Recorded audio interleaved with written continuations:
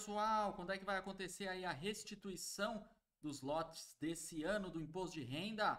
Já saiu a regra, hein? Olha lá. Ato Declaratório Executivo Receita Federal do Brasil, número 1, de 24 de fevereiro de 2022, dispõe sobre a restituição do imposto de renda referente ao exercício de 2022, ano calendário 2021. Tem muita gente que confunde exercício e ano calendário. O exercício, em termos tributários, em termos de legislação relacionada à Receita Federal, o exercício é o ano em que nós estamos vivendo. É o ano atual, então exercício 2022. O ano calendário a que se refere a declaração é 2021. Então tudo que aconteceu na sua vida de 1 de janeiro a 31 de dezembro de 2021 vai, vai para o imposto de renda.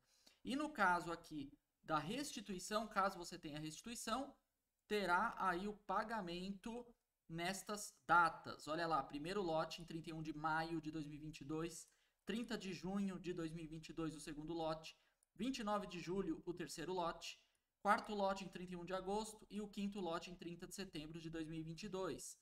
E as, restituição, as restituições elas são priorizadas pela ordem de entrega. Então você pode entregar correndo. No primeira semana do mês de março, de entrega, a partir do dia 7, você entregou.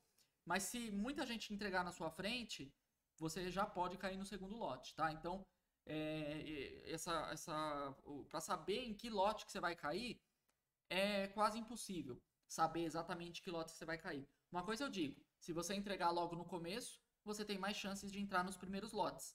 Se você entrar, entregar muito para o final do prazo, o prazo esse ano é 29 de abril, você corre o risco de cair no quarto ou no quinto lote.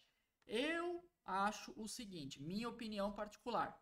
Se você não tem pressa para receber a sua restituição, deixa para entregar um pouco mais para o final, porque aí você vai cair no quinto lote e o seu dinheiro que vem de restituição vem um pouco corrigido. Vem pela Selic corrigida, a Selic está em mais de 10%, então é, pode ser que você venha com uma restituição corrigida interessante, ok? Então acompanhe nosso, o nosso canal para que você não caia na malha fina, para que você não tenha problemas com o leão.